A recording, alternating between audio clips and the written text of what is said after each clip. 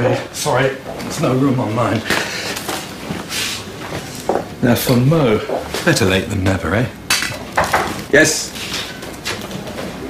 Mr. Hooker, you wanted to see me? Yes, just wanted to remind you about the 360. It's just honest feedback on a senior member of staff, a view from the ranks, so to speak. Miss Naylor, are you aware of this? Shadow Jac for the day, collate your thoughts. It's all completely confidential. Well, that's hardly a fair assessment, is it? Tara's my F1. It's my job to give her a hard time. And I'm certain HR will take that into account. They'll see it's not actual bullying.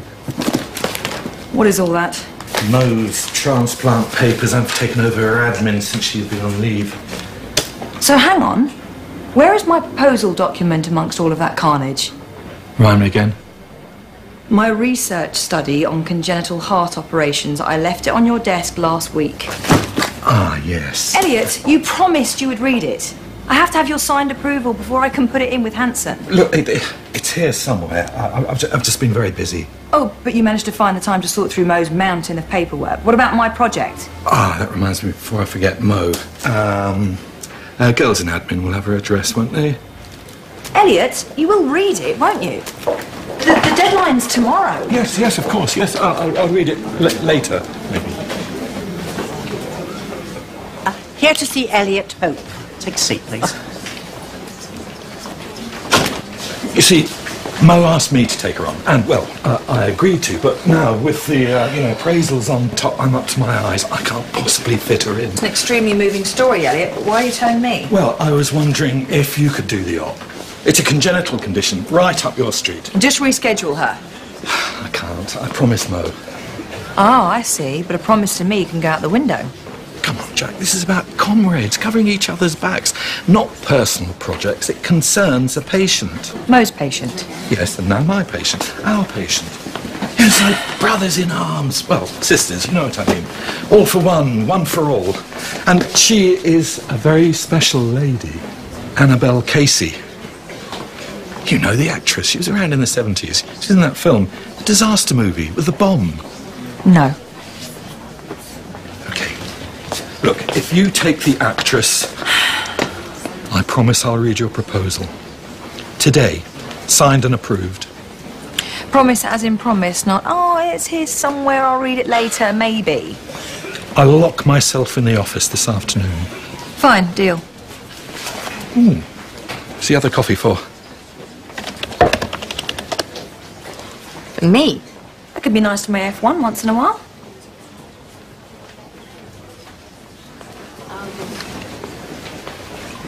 I have to give her 360 feedback. She's obviously hoping her little mentee doesn't give her the same treatment she gives the F1s. Or maybe she actually likes me. Don't be silly. Uh, she doesn't like anyone. You've got her worried. You should save her the moment.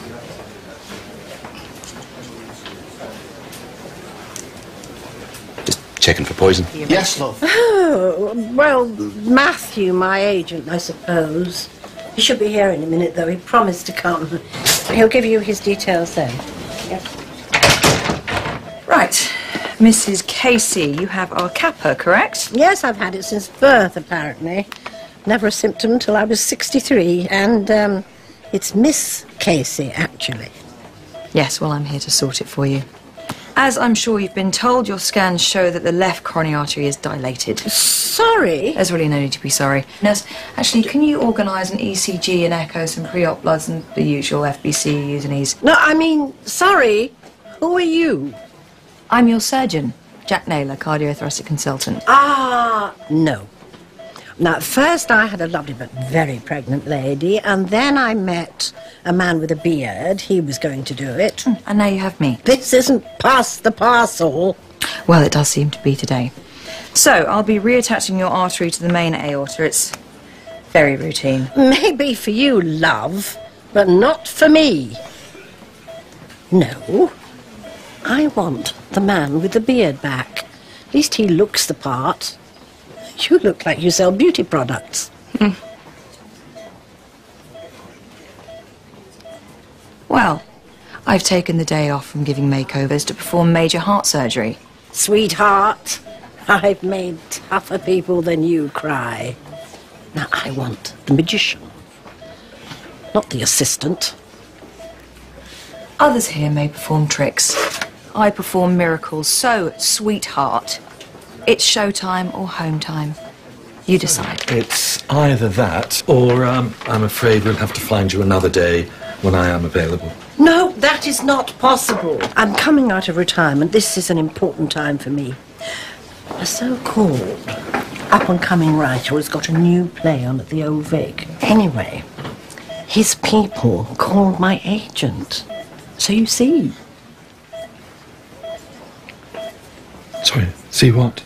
Well, the lead. It's perfect for me. So I have to be fully recovered before the time rehearsals start. Illness is not an excuse in my profession.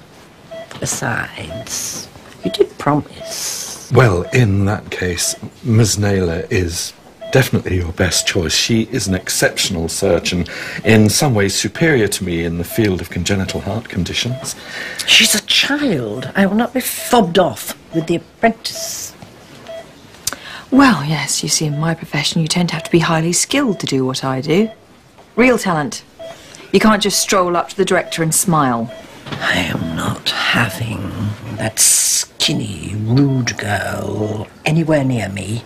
Now, you promise me that you will do this operation today. If that doesn't happen, I shall hold you personally responsible for ruining my return to the stage. Understood? Oh, I'm afraid they're right. You can't take your mobile into theatre with you.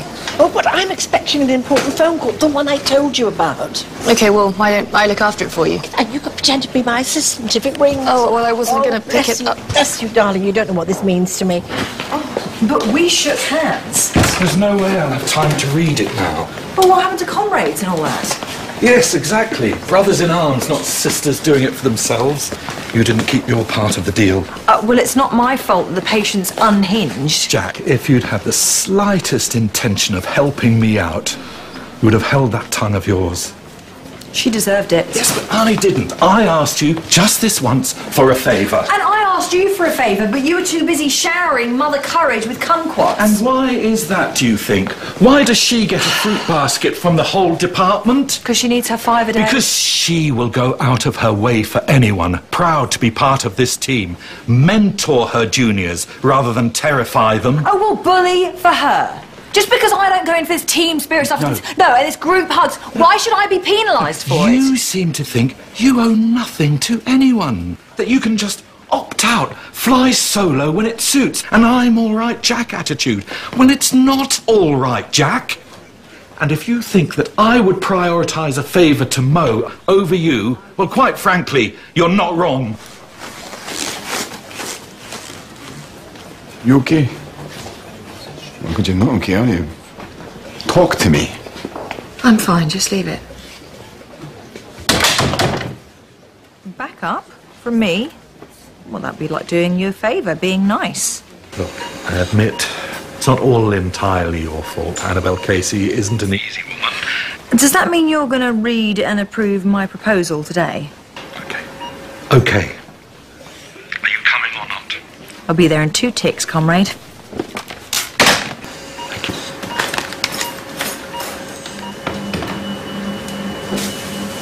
The epicardium sheet is too weak, in my opinion.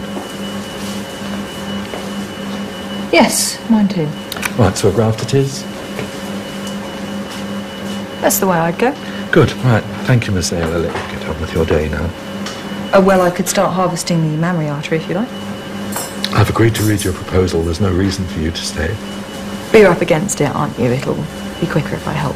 I wouldn't want to force you into helping anyone. Elliot. Okay. I get it. You're right. I do feel a little. Well, you know. Like I should stay. If you'll have me, I want to help. What is that in a... It's the closest to one you're going to get. Okay, thank you. Nurse, um, could you pass the diathermy and uh, clamps to Miss Naylor, please? Anyway, besides that, I'll provide you with a bit more time, Elliot. I know how slowly you read.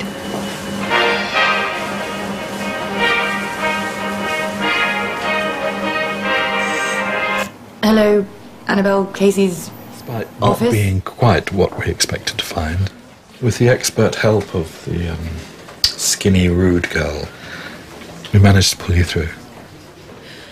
Well, I suppose I owe you a thank you. My pleasure.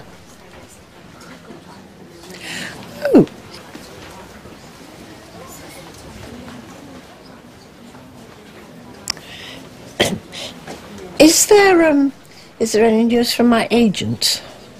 I don't think so.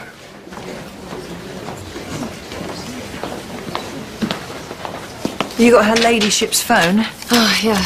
I took a message on it, but I don't know how to word it Why don't you just tell her? because she might shoot the messenger. Come on then, tell me and I'll do it. Really? Yes, really. So out with it quick before my niceness Oh, wears off. Con. Not quite the comeback I was expecting. Well, at least you're back. Oh, it serves me right. My reputation still precedes me. Can't outgrow that, it seems. Thank you for telling me. That was a very brave thing to do. Well, I've delivered worse news to people. I got you wrong. You're rude, but you're upfront, no frills, honest. I like that. Yes, well, apparently I should show that I have a soft side. Play nicely with the other children. Bit of advice from one sharp tongue to another. Don't bite the hand that feeds you. Sometimes they're your only friends. I can't believe you did that. For me. Just taking one for the team, Tara. Maybe you can write that in your book instead of all of that flack. Flack? I'm writing notes on, like, how you don't let anyone give you grief. I want to learn how you do it. You know, take command like that. I think it's brilliant. Well, good. Yes. As you were.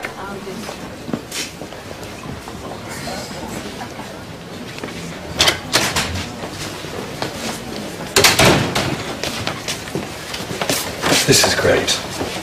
So are we on then? Of course, I'm sure Hanssen will go for it. Really persuasive piece of work. Why can't you be this charming all the time? Oh, come on. You wouldn't have me any other way, admit it. I certainly couldn't function without you. Thank you. Well, somebody's cheered up. So, where are we going? For what? There are drinks with our names on them. How about we just skip the drinks?